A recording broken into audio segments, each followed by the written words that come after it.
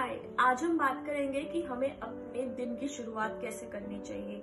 And this is very important for those who are looking for weight loss see if you have that habit of taking tea और coffee the first thing in the morning then you should avoid taking tea coffee first thing in the morning why because इसमें जो stimulants present है tannin caffeine what they do वो लेने से आपका heart rate एक बार एकदम से इंक्रीज होता है।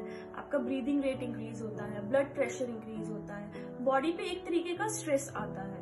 एंड इससे जो बॉडी का एबिलिटी है फैट को बर्न करने का, वो स्लो डाउन हो जाता है, वो हैम्पर हो जाता है। सो इट्स वेरी इंपॉर्टेंट कि हम अपने दिन की जो शुरुआत है, वो एक हेल्दी स्नैक के साथ करें। जैसे कि you can have any fruit जो भी आपको पसंद है, या फिर आपने एक मुट्ठी भीगे हुए नट्स ले लिए, ये लेने से आपकी एनर्जी बूस्टअप होती है।